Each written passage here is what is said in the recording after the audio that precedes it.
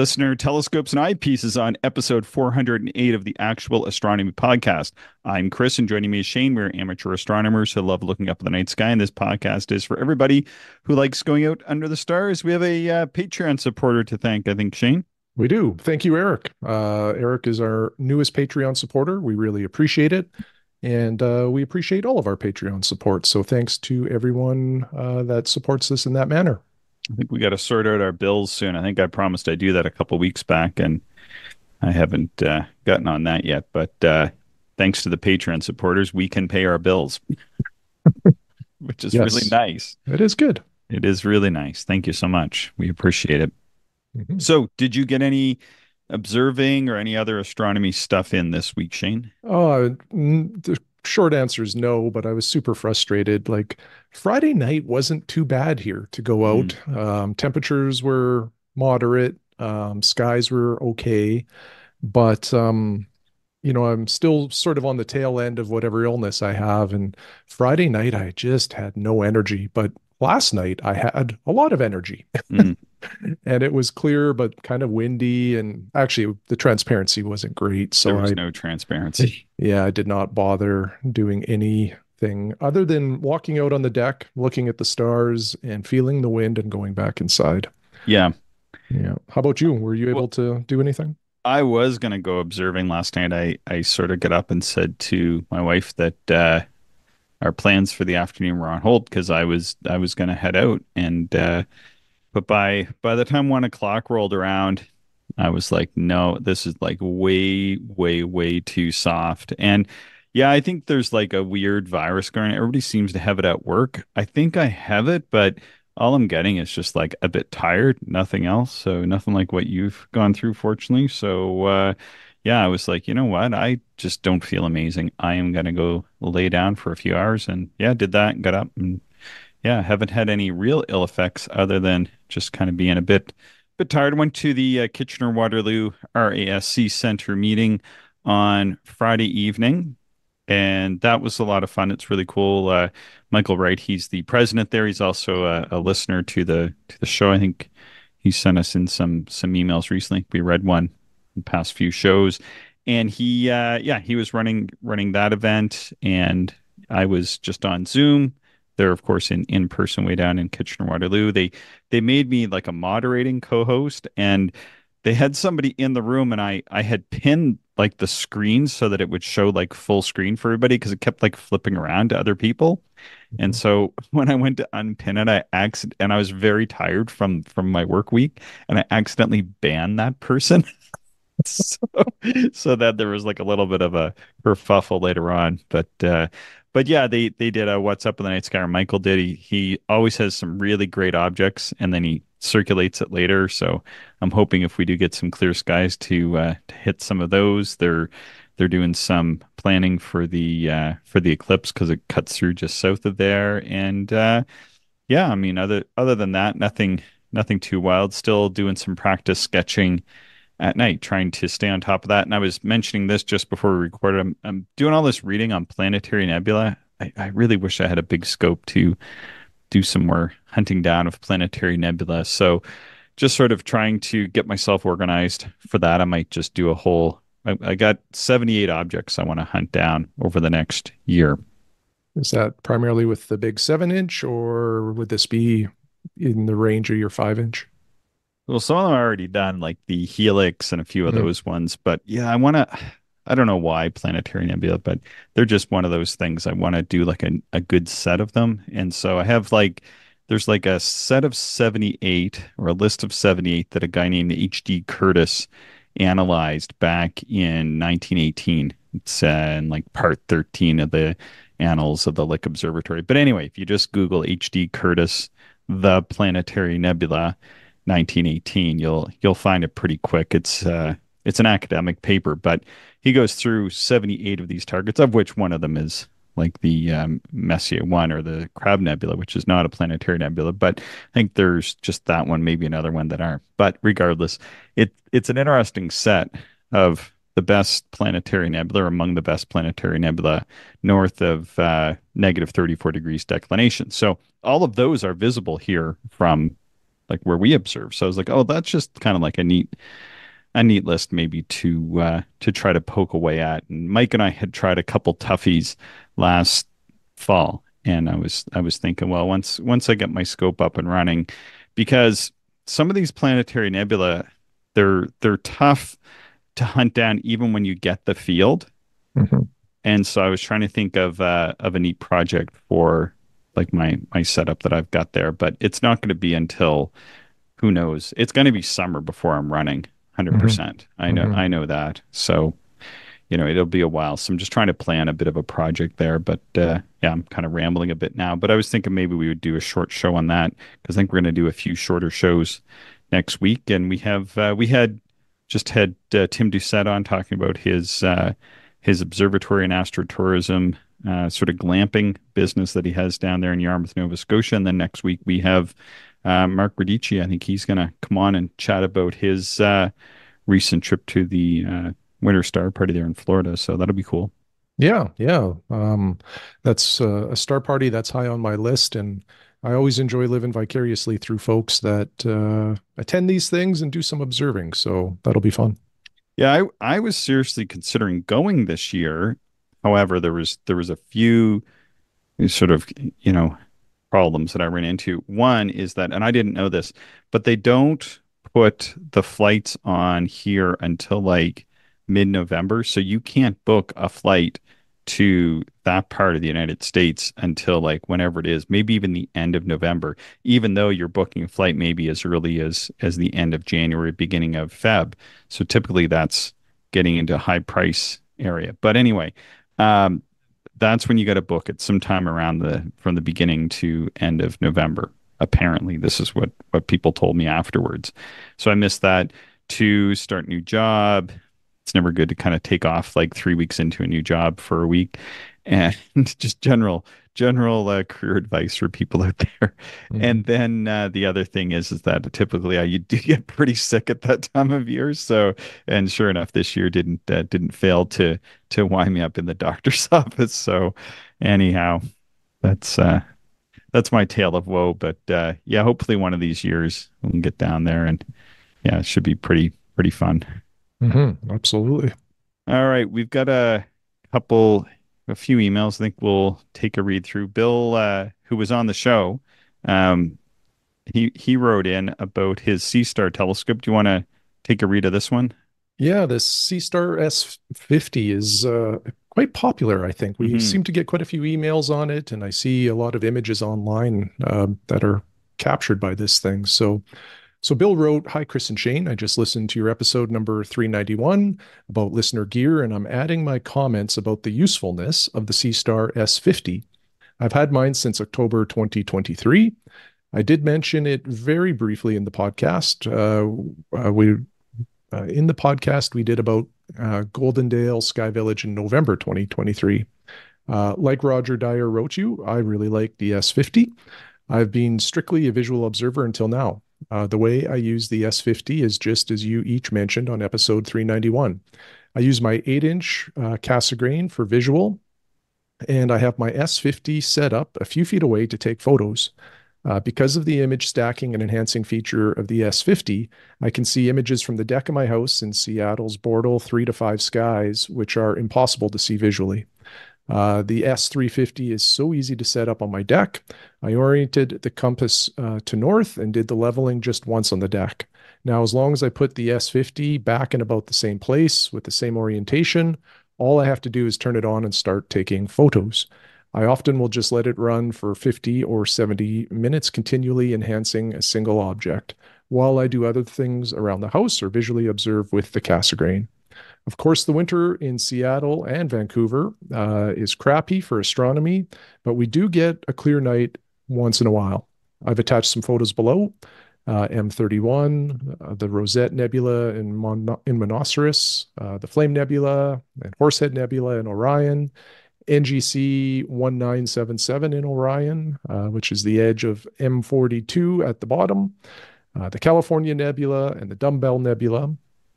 Uh, some of these are virtually impossible to see visually, for example, the horse head. And in every case, you get more detail with the S50. Uh, the March issue of Sky and Telescope has a review of the S50, which mirrors my experience in both operation and, and the quality of the photos. Uh, the photos are not as good as a $3,000 plus astrophoto setup, but still wonderful. By the way, you mentioned traveling to the States, uh, Texas, I think, for the total eclipse in March. Uh, Lowell Observatory has rented the Baylor University Stadium in Waco for amateurs, including a program. Tickets are $20 a person and $10 for parking. Uh, impossible to find a hotel room now, however. however. Uh, we have an Airbnb for my family of six plus a friend. Uh, keep up the good work with the podcast. Bill. Cool. Yeah. Yeah. Yeah. yeah I can't wait to hear about everybody's uh, eclipse experiences and all all this stuff. Yeah, people keep asking me at work if if I'm going, but uh, sadly, no, or maybe not so sadly because I'm trying to stay focused on my observatory and or if if I do travel anywhere, um, I'm gonna either go to uh, Ontario to visit with my astronomy friends or or go back to Nova Scotia and see family. I'm just trying to sort out my my plans right now. If I can get the right flights, maybe heck, maybe I'll do both. But I got to get that observatory finished. So mm-hmm. if I end up going in April to this thing, that is just gonna totally mess things up. Nothing's gonna happen, right? Mm-hmm, mm-hmm. So I'm really yeah. hoping to hear from Bill and other people. I wonder if he's taken the uh, Seestar S50 down for that. Hopefully. Yeah, hopefully that would be a, a neat way to record the event. Um, yeah, these S50s are super intriguing. They're you know relatively inexpensive uh mm-hmm. you know for astrophotography and i i just love this idea of it doing work while you can just you know do your normal visual observing or as bill said you know even just uh like errands around the house i think that's awesome yeah we had a I had an email from Will. He, he wrote me personally. I think I'd missed an email from his. I this is happening just I started this new job and missing some emails. It take me a while to get back to people. Um, yeah, it's just been a very busy time, and I, I was pretty sick there for a while myself. So we kind of both got nailed at at different uh, times. So Will says, uh, "Hi Chris, I sent an email to the actual astronomy email address about ten days ago. I thought I'd send this one directly to you. Um, tell me which one is is the one you prefer. It they both come to me, so it doesn't matter. It's all good. Um, uh, thanks. Uh, thank you for reading my email and some notes on on the astronomy books. Uh, I'll try to make this one a little shorter. I've put together my second eyepiece set, and it looks like I'm set for a while in my budget range. There seems to be several price points for eyepieces and a big gap between the one and two hundred dollar uh, eyepieces, uh, and then you have your like sort of prim- like expensive TeleVue and similar cost uh, eyepieces for now, those ones are too expensive for my budget. I began with the stock Plossls that came with my 5 inch f5 OneSky telescope and upgraded to the Paradigm dual EDs and Celestron XLs, plus an inexpensive 32 millimeter Plossl and some of the SVBONYs. Those perform admirably in the OneSky. So for getting started eyepieces, those aren't too bad. Actually, the um, the Paradigm Dual EDs, and I think these are sold mostly by Astronomics, which is the sponsor for Cloudy Nights, if I'm not mistaken, Shane. But I I bought I bought a few of those uh, for my nephews for the telescope that I had sent down to uh, to those folks in Nova Scotia, and I've gone down and used those, and they're fantastic getting started eyepieces. I think not sure if you've ever had a chance to look through those paradigms. No, I haven't. So can't really comment on them myself, but I've heard like a lot of positive things about them. Yeah, they've. I think they're about like a 55 degree field of view ish, maybe 58, something like that. But they have reasonable eye relief. It's not exactly what I would want for eyepieces for me because the the eye relief isn't quite long enough when you're wearing glasses but you still get about 50 degrees of that field. It's it's close. I think the eye relief is like 13 or 14 millimeters. I need about 15 or 16. So I just lose a scooch on the edge, but uh, they're they're totally usable. Like when I'm down just hanging out with my nephews looking through that telescope, it's all good. Like I, I can totally use it, and it's you know a lot of fun on those evenings. Uh, the Celestron X-Cels, I did have one of those at one point in time. They're pretty decent, and the inexpensive 32 millimeter Plossl, uh, got that one as well, and those are awesome for the price. Will goes on to say, I purchased a 10 inch Dob in 2022 and have now completed my second upgrade set. I would recommend all these for intermediate observers on a budget. I researched all these on Cloudy Nights, and they were all recommended by veteran observers. Attached is a photo of the eyepiece case. Yeah, thanks for sending that. Uh, and so then he lists them. Let's see. The Astrotech 2 inch ultra wide angle, 82 degree, 28 millimeter. Uh, this is the one two inch I keep in the case. Highly recommend it. And he says that uh, on Cloudy Nights, many people compare it to the 31 Nagler in its views. Uh, not sure. Have you uh, ever taken a look through one of these 28 millimeter 82 degree eyepieces? Oh, you know, I think didn't William Optics have one? They did. I think they were the first one that had Yes. had this, and I do remember looking through that, and uh, it's quite a nice eyepiece. Uh, huge, um, Yeah. but uh, very nice eyepiece. Yeah, I remember the only thing that I didn't care for as much about that William Optics one, and I'm sure these ones may be a slight improvement on that, is that it was so big on the island side. It was it was difficult to get your like face oriented to Mhm. look through it. Um, but I think there's been some changes and improvements, hopefully. But he says, yeah, they're selling for about 200 bucks new and gives about 45 magnification in his 10 inch. Yeah. And that's exactly the uh, probably very similar 10 inch scope. My friend bought one of the 82 degree 28 mils from William Optics and he had the 10 inch and it was fantastic in that scope. So, yeah, that would be a, a good eyepiece as long as it works for you. Mhm. Uh, let's see the Explorer Scientific Argon Purge 68 degree 20 millimeter. Um, he got this on sale for 99 bucks. And uh, yeah, it gives him about 64 magnification. I've never looked through any of those Explorer Science ones. no, me either. I've got the uh, 17 millimeter, uh, 92 degree. I don't know what it's called, but it's it's the one that you made me buy, Shane. And uh, from from many. So the backstory on that one is that um, when I was doing my master's degree, you, and I don't even think you remember this, but you gave me a copy of like Sky and Telescope, and and I read it. I was like, oh man! And I had given up my subscription, and there's been a few months, and you mentioned there was a good article about something, so I got it and I read it. It's like, oh, this is you know, it's great. You know, sit here and just relax. You know, take a take a night off from studying, and I flipped it over, and it had the 12 and the 17 and I was like, "Ooh, when I get working I'm buying one of those eyepieces." And then it was like, you know, years and years later that I eventually bought one, but that that eyepiece has your name on it. All right.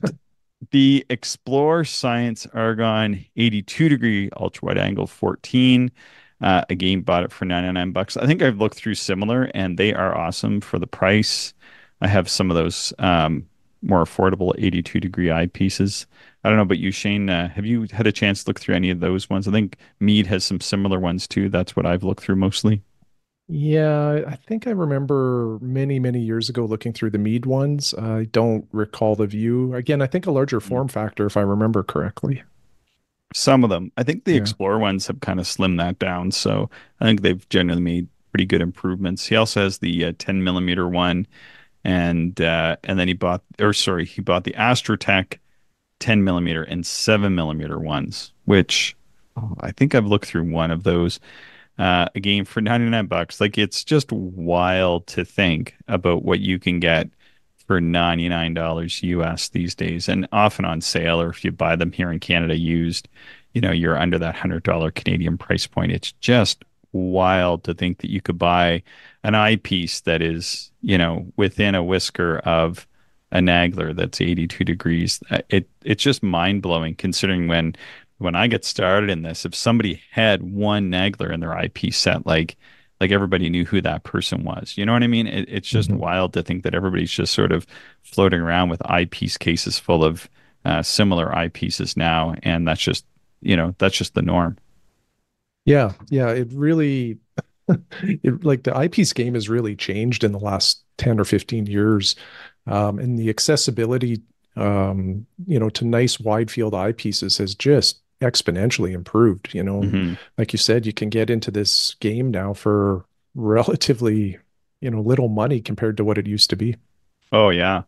I mean, I remember when those 4.8 Naglers wrote, I wanted one of those, and there were hundreds and hundreds of dollars even used. And now I see them come up for less than a hundred bucks USD. It's just wild. Yeah, it's hmm yeah, it's really neat. Um, and then he talks about the Sibon Sibony SV Bony, some people call it 3.8 millimeter zoom, 120 bucks. Get it for 99 for Christmas. And uh, people say it rates close to the TeleVue 3 to 6. I don't know. I've never looked through this one. I have looked through the TeleVue 3 to 6 a few times. Um, doesn't really work well for me, that TeleVue eyepiece, uh, because I need to wear glasses when I observe. Otherwise, things are kind of a little bit hokey unless it's like some sort of really wild eyepiece. But uh, yeah, I mean that sounds like a like a good option if people are looking for some higher power uh, in a in a zoom. Yeah, yeah, and having a zoom, especially for higher powers, is quite nice because then you can dial that in for almost like the perfect magnification, you know, related to the seeing that you have. hmm And uh, it is nice to be able to just twist rather than have to, you know, take out the eyepiece and replace it five times to go from eight millimeters down to three. And we'll conclude saying I hope these recommendations will help uh, other budget conscious intermediate observers like myself keep up the good work and clear skies. Will, thanks so much, Will. Appreciate that. Yeah, appreciate that. It's uh, great to have some insight on different gear because you and I just simply can't try it all. So, so it's nice when other people tell us about their experiences. No, and we're not really that into reviewing gear. We just make some Mhm. recommendations, and it's really nice when people write in with their recommendations for where they are in their astronomy journey because there's so many people that will be at that point versus wherever the heck you and I happen to be. Yeah, yeah, for sure. Wade wrote in with an email. Do you want to give her a read? Yeah, yeah, I just replied to this one today, I think, actually. So, um, or yesterday. Uh, Wade wrote, Hi Shane, I have some questions for you. First off, uh, how wide do you go? I know Chris goes super wide, but I believe that you don't go as wide as he does. I'm asking as I seem to be favoring panning around at slightly higher magnifications for my wide field observing. Uh, about 20 times and three and a half degree field of view seems to be a sweet spot for me uh, instead of trying to fit the entire object into the field of view all at once. Is this similar to your approach? And my response to that was a little convoluted um, because I think my my process of observing is a little bit different. Um, so right now, I'm basically almost exclusively bino viewing, which changes things a bit. Um, you know, I'm limited to one and a quarter inch eyepieces, which limits my maximum field of view.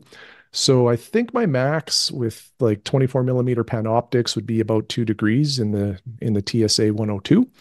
Um, however, uh, because now I'm using also the Nexus uh, digital setting circles, um, I don't really need the wide fields of view for finding objects. The only time I'd really need the wide field is just to fit an object.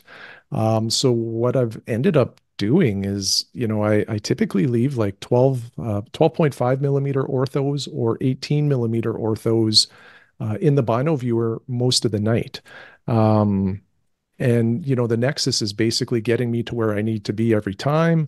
So i don't really miss the wide field. And like the 18 millimeter orthos give me close to a degree about zero point 0.9 of a degree which does frame most objects that, that i would be looking at um, and that's kind of how i travel right now when i'm uh, observing the night skies um, the other thing i did say too is there's this weird thing like when you're bino viewing like a 50 degree field of view, uh, apparent field degree or apparent field of view, um, uh, actually looks much wider than it would mono viewing, and it's far more immersive. So it's it, it is really a, whole different experience. And uh, so, like I said, it's not a, a super direct answer for me, but um, you know, if I am mono viewing, I'm probably just leaving my uh, Leica zoom in there, and then it depends where I'm at in that focal range as to what the uh, field of view would be there.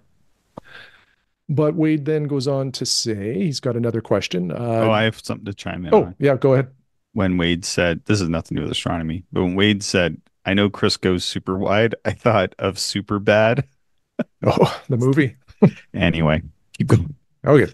Or not the movie, uh, the little cartoon thing. Is that what you're thinking of? I don't The know. movie. Yeah, okay. Anyway. Um, okay, number two. Uh, do you know the weight of your Borg 71 without diagonal? Um, I also have a 90 millimeter f5.6 scope. Uh, it's the SV Bony or Spony. Uh, it, yeah, I don't know how you say it. Uh, and he says it weighs 2.7 kilograms without diagonal and therefore requires a beefier mount. I'm looking to replace my 8x42 binoculars with a telescope. Again, not really enjoying them as much as I first thought, and want to go as light as possible with a maximum of one and a half kilos so that I can use a standard photo tripod, probably with the ball head in portrait mode. So uh, my Borg 71, I have it configured for inch and a quarter use. Um, so it has a two speed inch and a quarter focuser on it. And with ring and the focuser um, and a little like kind of Arca Swiss uh, dovetail, it weighs about 1.25 kilos. So it definitely comes in under his 1.5 max.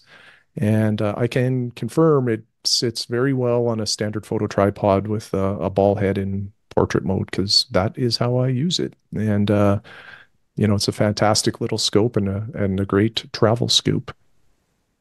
And then the last thing here in Wade's email, he says, not a question, but I think what you noticed when comparing the 30 millimeter UFF and the 31 millimeter Nagler in the 90 was actually field curvature of the scope. Uh, and yes, he is correct. Uh, 500 millimeter focal length is definitely short enough for this to be the case. I believe the Nagler will show you a 20% larger true field and maybe just wide enough for it to bother you. Uh, what you explained with focusing either the outer or inner field, but not both, seems to confirm this, unless the stars were seagulls or some other not round shape. Just my two cents. Clear skies, Wade. Yeah, then he's 100% right. The uh, the Borg 90FL definitely has some field curvature just due to the the short focal length. It's uh, inevitable uh, when you're doing things like that. So, for sure. Michael yeah. wrote in. He said, "I just listened to the Observer's Calendar for March episode and was thrilled to learn about the potential to view Comet Pons Brooks. Thank you for putting this extra ecliptical activity on my radar." the old spell check picked that one up, but that's pretty funny. I like it.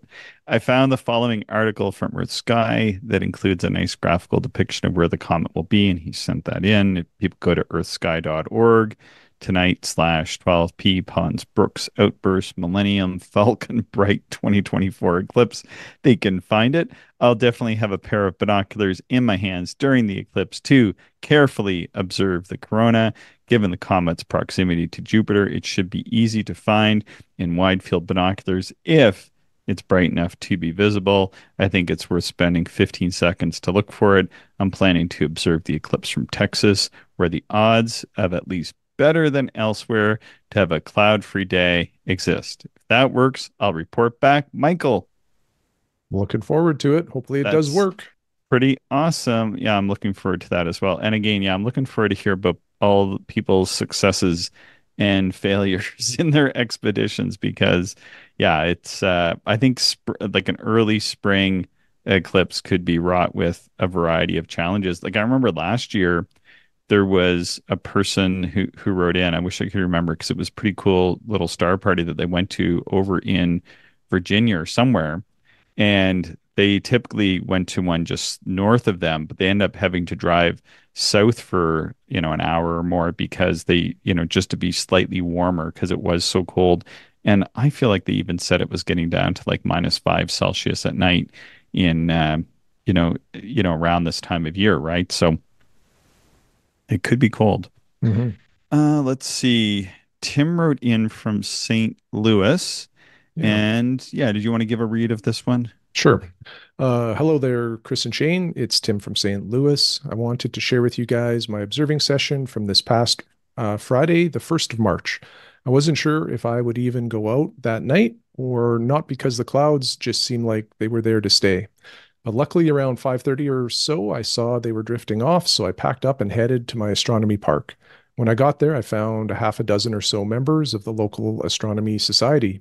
Yes, my people. Uh, one of my biggest joys in this hobby is sharing the night sky with a group of fellow observers, and I hadn't seen anyone from the club since November. Hmm. It's going to be a good night. Uh, I set up and collimated my 8 inch Dob and then spent some time chatting and telling everyone who would listen about my 20 inch f3.3 build. By seven o'clock or so, one of the guys had located Comet P12 Pons Brooks in his 8 inch. By that time, my scope had mostly cooled, so in a flurry of no less than three lasers, I got help locating the comet and put my 38 millimeter SWA into the focuser and started panning the skies. It was super easy to find, especially in Alt-Az. Uh, draw a straight line down from Andromeda and to the right from Alpheratz, and voila. Uh, I sat and looked for a few minutes before deciding I should really sketch this. I pulled out my sketch pad and did just a quick and dirty sketch in about five or 10 minutes. Uh, then took it over to share with the rest of the guys. Uh, one gentleman, Jim, and I were able to use this sketch to confirm the direction of the tail as viewed through the eyepiece, uh, almost directly north or toward the seven o'clock position in the field of view. I stayed a few more hours for some casual observing, uh, deciding to just relax with M42, M1, and the Leo triplet. After several months of being stuck on cloudy Earth, a night among the stars was just what the doctor ordered. Nice. Uh, yeah. The next morning, I took my sketch out and did some final edits and additions and was able uh, to complete the attached sketch. Apart from the comet itself, there really wasn't much to see.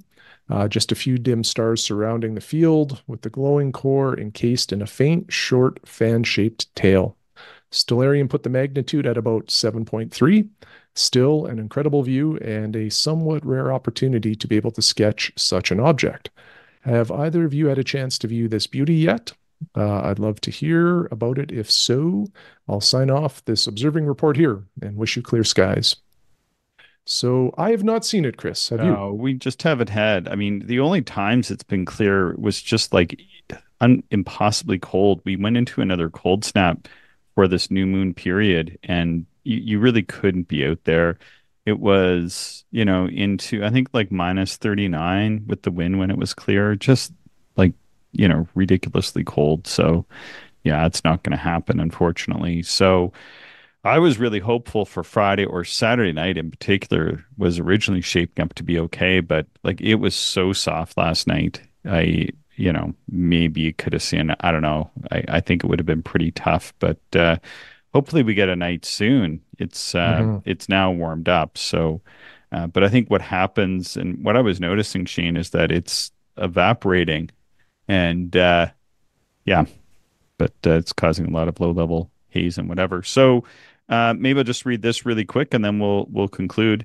Uh, Kevin wrote, uh, "Hey Chris and Shane, I just want to let you guys know that I received a new scope for my birthday. I'm beyond super excited. I got a Skywatcher 120 millimeter ED APO refractor Oof. on the EQ R6 mount. See the attached photos. The mount is a beast. Yeah, it looks super awesome. That's a great scope." It's not all put together yet, but I hope to get out observing with the new gear this weekend. We are in a bit of a drought here in southwest Missouri, so I'm sure this purchase will bring in clouds. Yeah, for sure. I also bought a dedicated Astro camera and all the associated gear. Mostly, uh, this stuff was back ordered until uh, I guess it's going to arrive later. Of course, this is uh, fine since I need to get used to all this stuff first. Anyway, I'll keep you posted. Keep up the good work on the podcast. Love it. Clear skies, cold beer, Kevin. Yeah, thanks so much for this, Kevin. Really appreciate it. And uh, yeah, we uh, we're gonna conclude this one because Shane is is selling stuff to afford an even bigger and better telescope, I'm sure. So uh, unless you have something to add, Shane. No, no, nothing at all. Um, appreciate the observing reports. Please keep them coming. Love reading them. Please subscribe, share the show with other stargazers you know, and send us your show notes, ideas, observations, and questions to actualastronomy at gmail.com. Thank you, everyone, for listening, and we hope you enjoyed the show. If you are interested in more information, would like to contact us, or if you would like to support the podcast, check out our website, actualastronomy.com.